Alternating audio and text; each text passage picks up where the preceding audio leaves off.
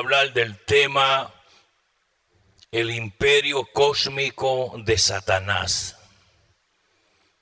El imperio cósmico de Satanás. Alabanza en nombre del Señor.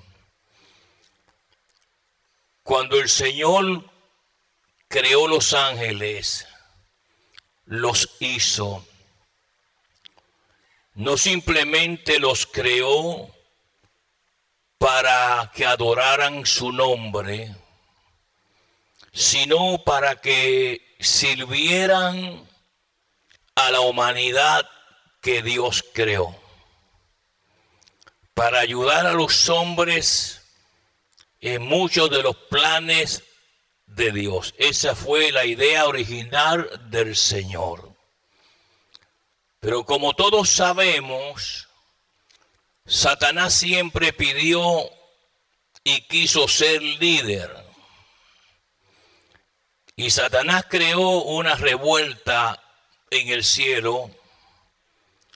Y nótese que los ángeles también tienen libre albedrío porque algunos de los ángeles se opusieron y resistieron lo que Satanás le ofreció. ¿Qué Satanás le ofreció? Le ofreció posiciones en el nuevo imperio cósmico que él iba a crear. Crearlo aquí en la tierra.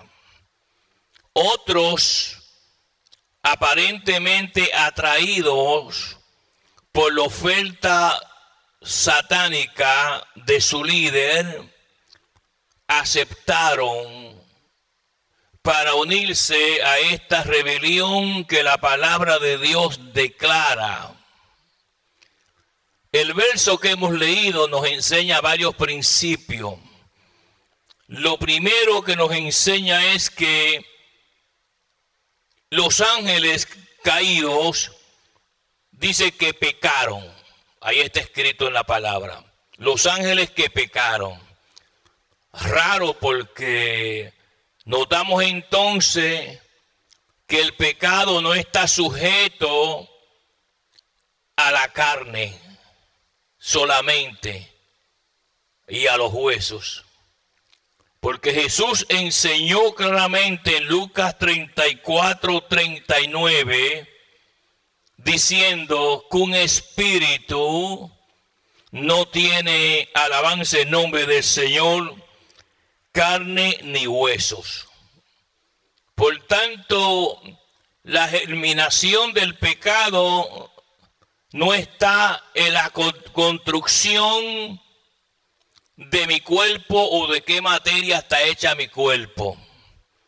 Porque los ángeles no tienen, amén, carne ni tampoco tienen huesos. Entonces, ¿dónde está la germinación pecaminosa de un ángel? Bueno, sabemos entonces que la palabra de Dios nos enseña también en Samuel que la rebelión es como pecado de adivinación. Todos sabemos entonces que hubo una, una rebelión masiva donde estos ángeles, alabanza nombre del Señor, la Biblia nos enseña y nos dice en el libro de Judas, el libro número 65 de la Escritura, y para ser más exacto, el verso 6 dice que estos abandonaron su propia morada. La morada de los ángeles es el cielo. Ellos la abandonaron. O sea que estos ángeles caídos, convertidos hoy día, sabemos eh, las potestades satánicas, los demonios que se manifiestan en este imperio, que es un imperio invisible, amén, en el aire, en el lugar cósmico de Dios.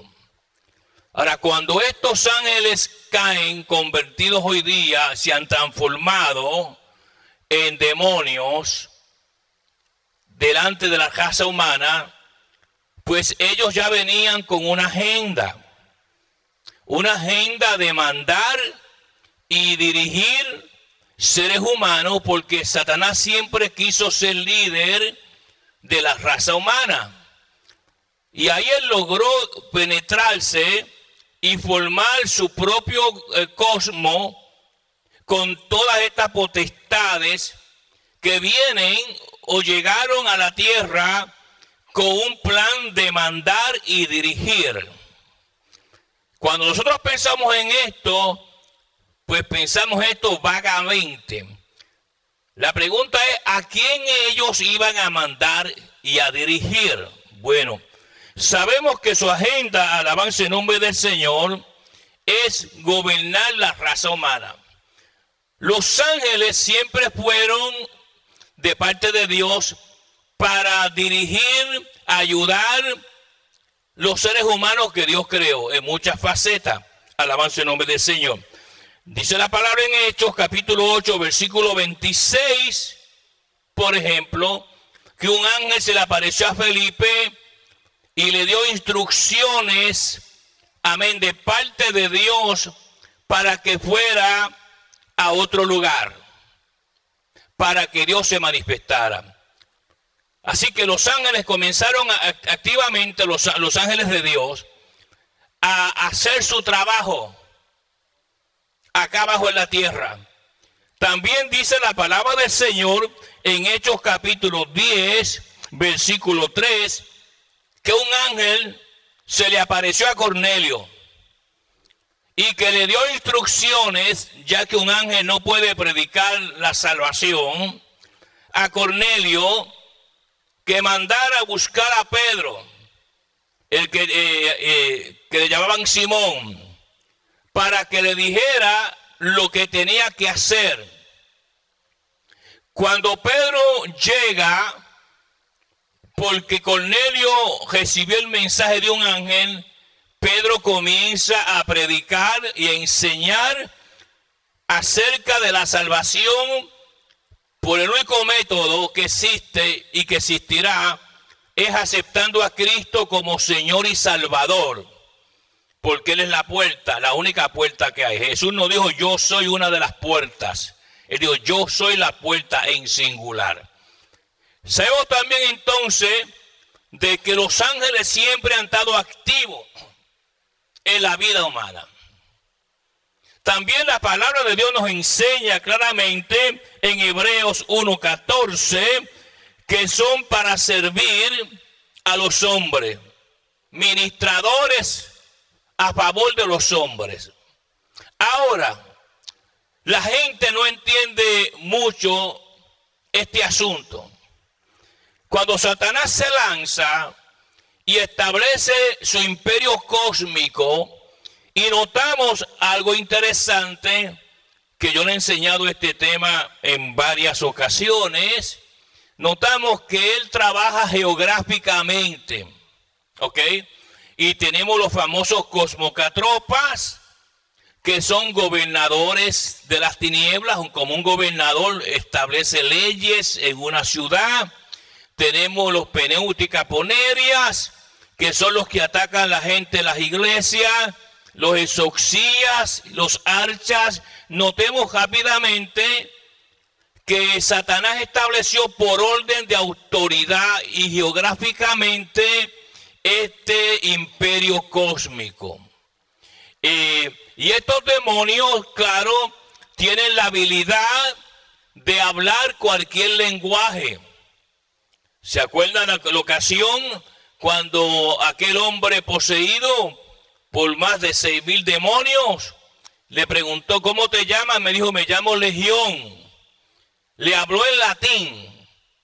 ¿Ok? El demonio es una palabra en latín. Me, eh, soy, me llamo Legión. No habló, amén, ni en arameo, ni habló en otro lenguaje. Porque se estaba viviendo bajo el imperio romano. Alabanza en nombre del Señor. Y estas potestades y demonios, alabanza en nombre del Señor, pues le fueron asignados posiciones. Ahora notamos que esos demonios, al tomar su posición, su oficina, dada por Lucifer, por Satanás, a ellos en este imperio, le asignaba personas, principalmente desde la, desde la creación del mundo, comenzó a poner personas a cargo, como el cazador de armas, Nimrod. Y así cada uno de ellos, ellos mismos ni sabían que estaban siendo dirigidos por una potestad satánica que pertenecía al imperio cósmico de Satanás. Durante el imperio romano, si usted se da cuenta y mira los emperadores que existieron, eran hombres que estaban poseídos por esta potestad. Y estas potestades dirigían usando ese vaso humano a llevar masacres a las multitudes.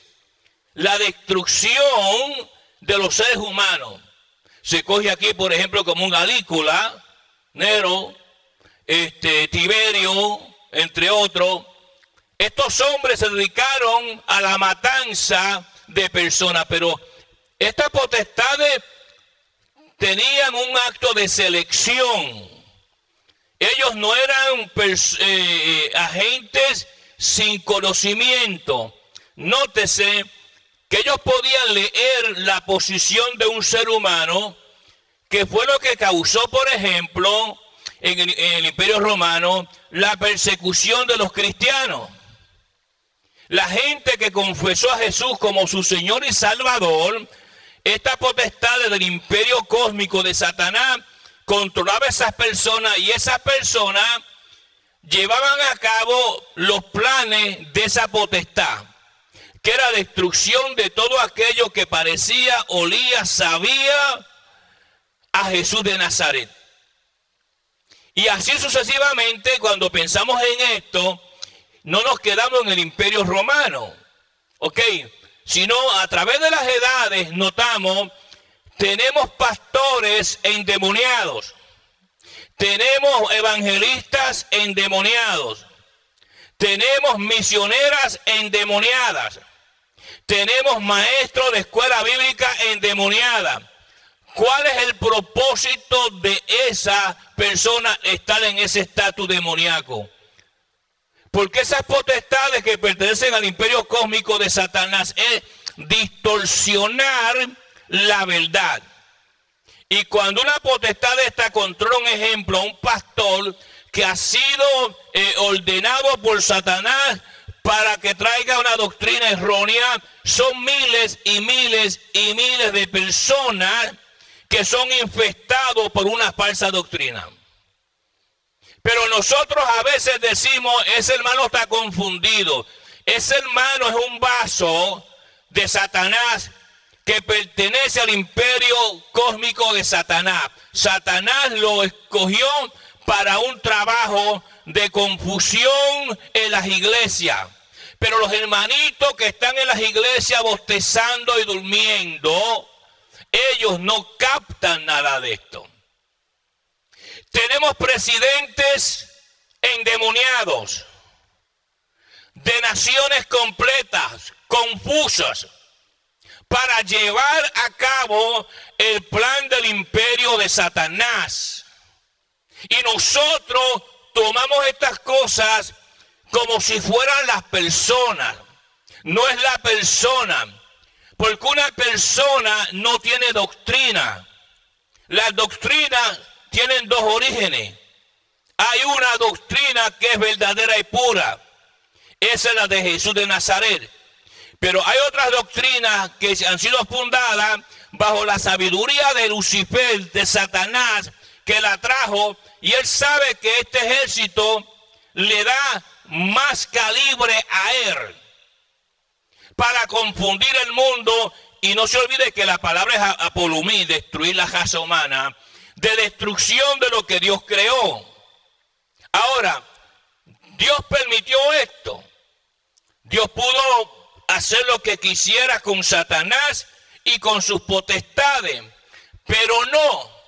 Lo dejó porque ese va, ese va a ser el barómetro para medir eh, la obediencia en ciertas personas.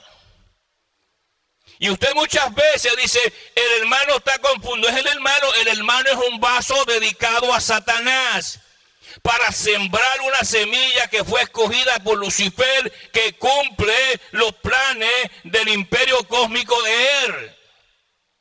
Y cuando nosotros aprendamos y abramos la mente que tengamos, si la tenemos cerrada, que muchos las tienen cerrada, por cierto, nos damos cuenta que estamos luchando con algo que fue planificado de lo que de, de los ángeles estos que pecaron. Ahora, si usted mira bien el verso que hemos leído, con los ojos del Espíritu, dice, porque si Dios no perdonó, implicando que estos ángeles pidieron perdón. De una manera u otra, estos ángeles le pidieron perdón a Dios. Estamos hablando aquí del cielo. ¿Cómo es que Dios no los perdonó? Porque su maldad fue una violación enorme ante Dios. Y Dios en su omnisciencia, porque Satanás es omnisciente, pudo ver que el plan de ellos era destrucción masiva. O sea, que este plan cósmico de Satanás es peor que una bomba atómica. Por eso es que millones y millones y millones de seres humanos morirán sin salvación, porque fueron discípulos y estudiantes, amén, del imperio cósmico de Satanás. Nunca pudieron detectar quién estaba detrás de esta maquinaria. Sus ojos carnales simplemente miraban la persona vestida de carne, pero no pudieron ver la maquinación escondida de donde venía toda esa fechoría. Entonces, el blanco de Lucifer hoy día es la iglesia.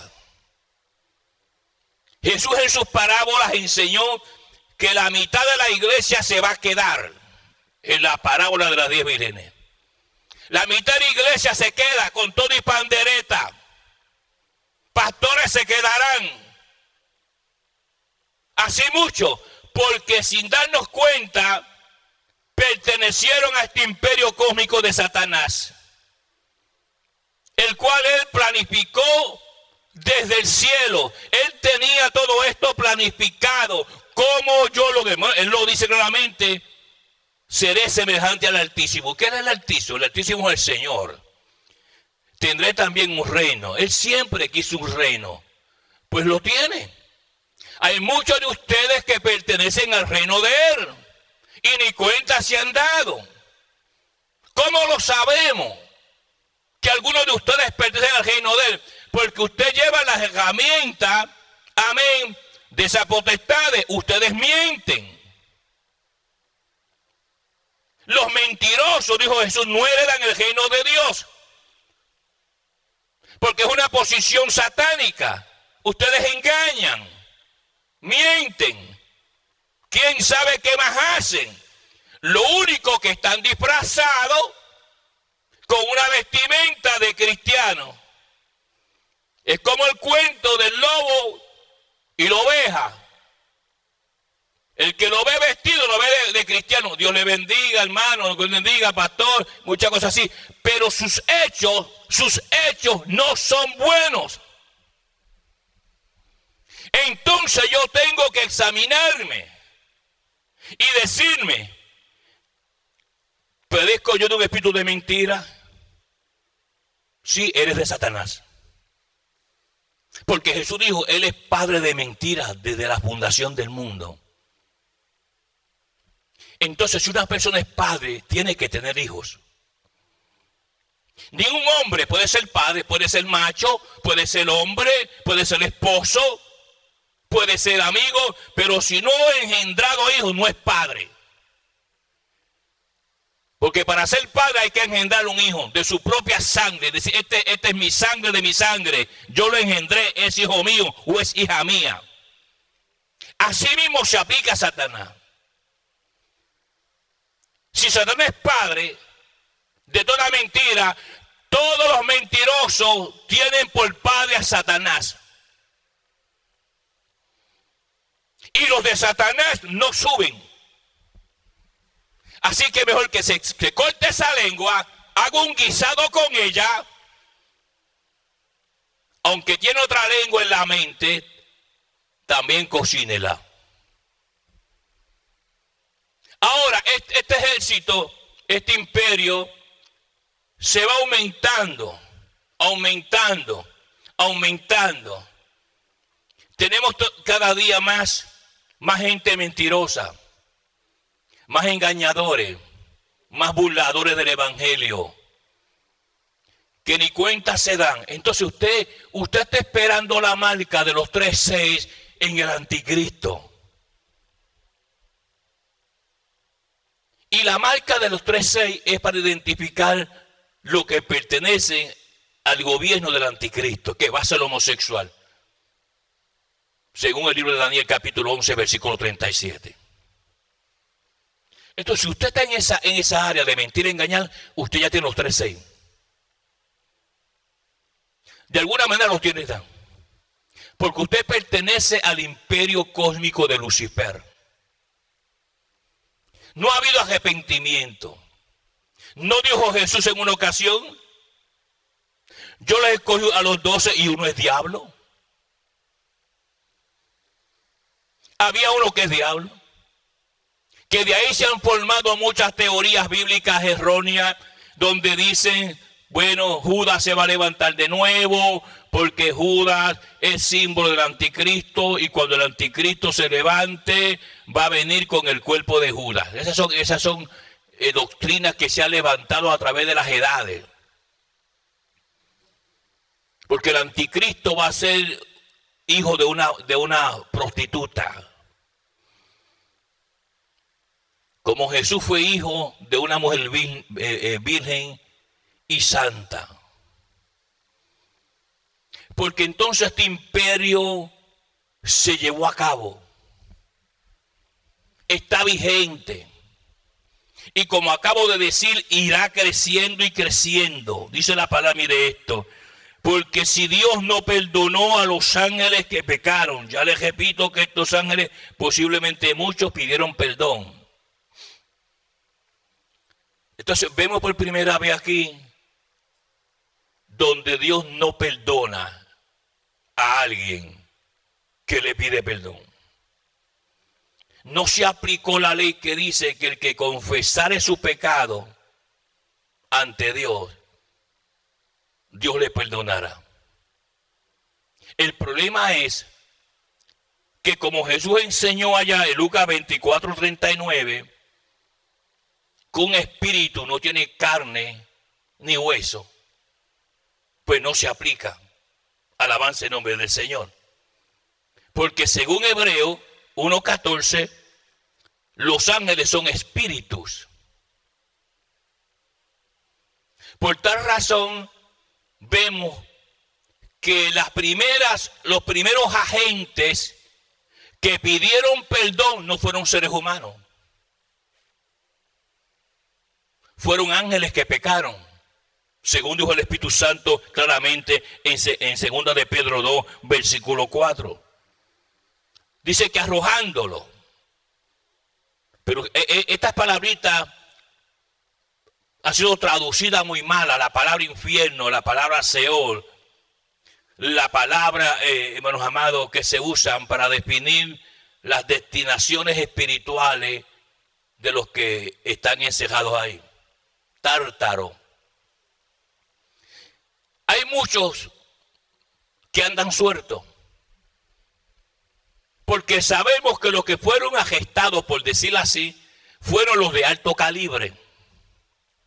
Líderes que aparentemente estuvieron en la revuelta sentados con Satanás en alguna sala en el cielo planificando esto. Y para que no sigan haciéndolo aquí en la tierra y se vaya multiplicando más y más, el imperio cómico de Satanás fueron agestados. Y aquellos que eran alcahuetes solamente, para que me entiendan, andan rodando. De cuatro clases. Como el apóstol Pablo recibió revelación. El alcha, el exoxía, el cosmocatropa y el peréutica poneria. Que son los que andan por las iglesias, te, ponen a mentir, a engañar, a, a robar, a matar. Ya tú sabes que los tres seis de una manera u otra están en ti que te identifica que eres propiedad de este imperio cósmico diabólico. Pero la gente no ve esto. La gente sigue con esas enseñanzas, amén, flojas y débiles de las iglesitas estas chuecas, que, son lugares altos.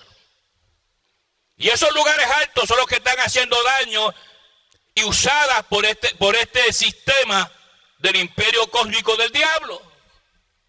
Y hay muchos hermanitos que les gusta ese lugar porque ya lleva la marca de él. No ve que él les ofrece lo que ellos tienen. Por eso es que aquí entra mucho la santidad de Jehová, el discernimiento de Jehová. Hermanas engañadoras, mentirosas, calumniadoras, chismosas, hombres iguales. Y por una fuente no puede salir agua caliente y agua fría. Como dijo mi hermano Josué, vosotros escogéis hoy a quién servir. Si a los reyes del otro lado del río. Ahora, yo creo que entiendan algo. Cuando estos emperadores y otros líderes pedían estatuas y los deificaban ahí y los ponían ahí, era que Satanás estaba pidiendo una adoración. Y esas estatuas que hacían, por ejemplo, de los emperadores, no era el emperador, el emperador era una marioneta de Satanás. Y ahí estaban esas estatuas en todo el imperio. Por eso es que Dios condena tanto las estatuas. Mire, si alguien pudo haber dejado una buena foto de él, entre comillas, fue Jesús. Pero no lo hizo. Si Jesús hubiera dejado a propósito, como dejó la Biblia, una fotografía humana de él, ¿cuántos idólatras no habían? Una vez yo estaba en México y llegó una anciana a decirme, que iba subiendo, iba sangrando por las rodillas. Y yo estaba parado allí en una esquina que iba para un lugar. Dice, ay, mira, permíteme pasar que voy a servir al Cristo negro. Dice, señora, Cristo no era negro primero. Y todo eso que usted está haciendo está perdiendo el tiempo. Levántese de esas de esa rodillas, póngase algo en las la, rodillas para evitar la, la hemorragia que tiene y, y, busca una iglesia bíblica y, levante las manos y comienza a Dios. Porque usted lo que está haciendo es Usted se está hundiendo más, hundiendo más, hundiendo más, hundiendo más. Porque hay países, hermanos, que ya están reclamados por Lucifer. La ventana 1040, usted lo sabe ya de memoria. Donde todos los países de la ventana 1040 son ocultistas. Y está ahí marcado. Países dedicados simplemente al ateísmo y a otras cosas más. Parte del imperio cósmico de Satanás. Entonces, como hay tanta salida de más demonios y más demonios y más demonios y más demonios y más potestades, la iglesia ha caído como una langosta en un caldero de agua caliente quemándose. Tenemos gente con todo tipo de pecado dirigiendo cultos. Tenemos hermanas que después que terminan el culto se van a practicar la prostitución. Todo eso está de moda. La música igual. Pervertida. Porque el diablo tomó control de las avenidas más grandes de su imperio. Ya son pocas las iglesias que adoran al Dios del... Ellas cantan. Pero como le he enseñado, las cosas de Dios de, adoración, no de cántico. La santidad de Dios. Ahora, dele reggaetón y bachata. Uh, se van a poner la moda rapidito. Pero la pureza y la santidad de Dios ya no existe ahí. esta área del norte de este país, de esta ciudad al norte, todo eso está podrido. Podrido, todas ahí están podridas, todas, todas. Ni una dejo, todas están podridas. Si yo no fuera pastor de esta iglesia, yo me quedaba en mi casa solo, estudiando la palabra del Señor en mi casa. Pero ninguna de ellas visitaría yo. Es rechazando un montón de invitaciones que me mandan. No. Yo no voy a manchar mi vestimenta, a menos que ella me diga, mira, yo quiero que vaya para que limpies ese basurero. ¿Por qué? Porque no quiero caer en esto. Él es muy sabio, Lucifer. Muy inteligente. No levantó este imperio porque es tonto. Él sabe. Ahora, fíjese, hagamos número. A ver cuán efectivo ha sido el imperio cósmico de Satanás. Por cada cristiano hay diez impíos. Y eso tiene que ser así. Porque ese es el patrón bíblico. Jehová le dijo claramente a Abraham, si, encuentra, si encuentras 20, no destruyas a su amigo Gomorra, pero no lo había. La mayoría era impío. En el arca, predicando Noé por tantos años, solamente entraron ocho. La mayoría era del diablo. Así me dice que matemáticamente hablando, cuán efectivo ha sido este imperio cósmico del diablo. Su familia, la mayoría impía. Droga, sexo, eh, mentiras, engaños, robos. Su familia. Y usted tratando de buscar de Dios y su familia podrida. Vaya a su casa ahora mismo. Sus hijas podridas. Sus hijos podridos. Y usted le aplaude. Ahora me dice a mí, cuando se acerque el día del arrebatamiento y Dios levante los santos y usted se quede aquí, para que el diablo haga tamales con su cabeza, no llore. Porque el día se acerca. No todo el tiempo Jehová va a estar guardando tus relajitos y tus mentiritas. Un día tú te vas a levantar y vas a encontrar la pijama de tu esposo en la cama. Y lo primero que tú vas a buscar no es a él, es la cartera de él. En ese gran día, que se acerca y se acerca y se acerca el gran arrebatamiento del Señor de su iglesia santa, te va a coger a ti de sorpresa. Sigue con las, con las hijas tuyas allá en el parque. Sigue con tus hijos por allá. Sigue por acá, sigue por allá, sigue haciendo lo malo. Que ese día comenzará un valle de lágrimas en tu vida. Retén lo que tienen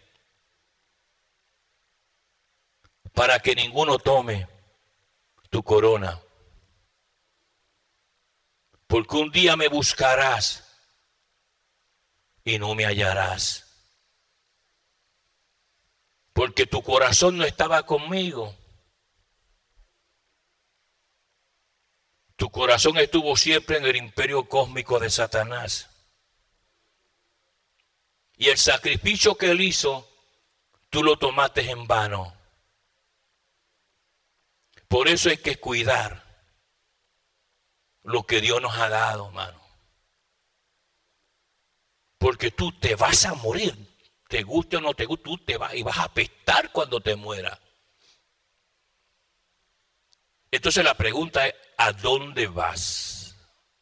Ahí no hay pastor, no hay iglesia, no hay mami, no hay papi. Eso es entre tú y el Señor. Y de eso tenemos que cuidarnos. Que yo no me encuentre obedeciendo agentes del imperio cósmico de Satanás. Jefes tuyos pertenecen a este imperio. Y como tú no entiendes, te, maltratan, te calumnian. Porque si el diablo ve que tú brillas un poquito, dice, e, este todavía le queda algo de lo de Cristo. ¿Eh? Y por eso le viene tanta persecución. Tanta, el, diablo no persigue gente impía. ¿Para qué? ¿Para qué el va, va, a perseguir un, un, engañador y un mentiroso? Para que si pertenece, ya tiene, ya tiene en cierta forma la identificación de los tres seis. Ahora, yo, es triste, hermano, que cuando una persona muere y cuando entra en la otra dimensión, se dé cuenta que ya él fue marcado para destrucción. Piensen en eso. Murió esa persona y ya fue marcado para perdición lejos de la presencia de Dios. Y lo que se muere es el cuerpo, no el espíritu. Por eso es que la gente se sorprende. Porque usted se siente joven todo el tiempo. ¿Por qué? Porque el espíritu humano nunca envejece. El espíritu humano nunca cumple años. Entonces a veces tú te encuentras con una persona que no ves hace tiempo, un ejemplo, y te dice, oye, qué viejo tú estás. O qué vieja tú estás. Y tú te sorprendes. Y tú dices, yo me siento igual. Sí, porque tu espíritu no envejece. Lo que envejece es el cuerpo. ¿Te has mirado tú últimamente en el espejo y has visto cómo tú te ves? Ahora compáralo con una fotografía tuya de 40 años atrás o 50 años atrás. Por eso es que se impresiona a la gente el hombre de afuera se va desgastando. Y el interno se va, hermanos amados, cada día más poniendo más joven. Tú te sientes mal cuando te ves vieja o viejo. Te pasas poniéndote cuanta cosa ven, comprando del Marcina por todas partes para quitarte las manchas que tienes. Tienes manchas en el pelo, en la cabeza, en las orejas, en todas partes. Porque tu cuerpo se ha envejecido, pero no tu espíritu.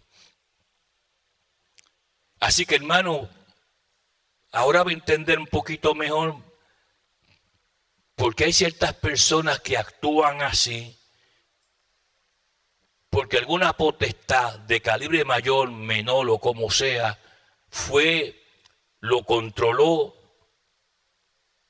Todos estos emperadores, que muchos se suicidaron, Poncio Pilato fue un hombre en Judea que se suicidó. Un hombre joven de 33 años de edad. Lo que pasa es que usted ve las películas en, la televisión y usted se que Poncio Pilato tenía 33 años de edad. Se suicidó.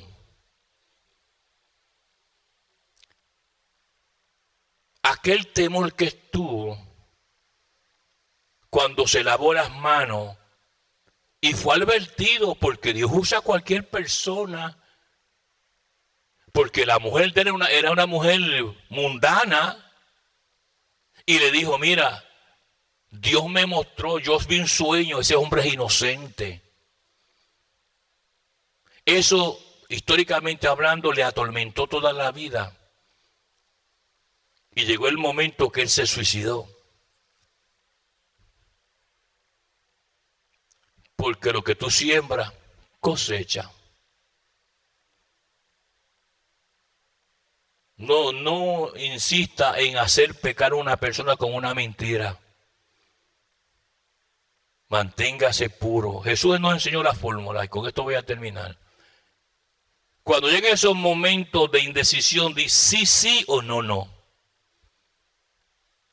No te inventes esas mentiritas para hacerte creer y ver bien y que la gente hasta te crea. Que no es así. La paz de Dios contigo, la bendición de Jehová abunde en tu vida. Que Dios te use y te levante. Amén. Gloria a Dios.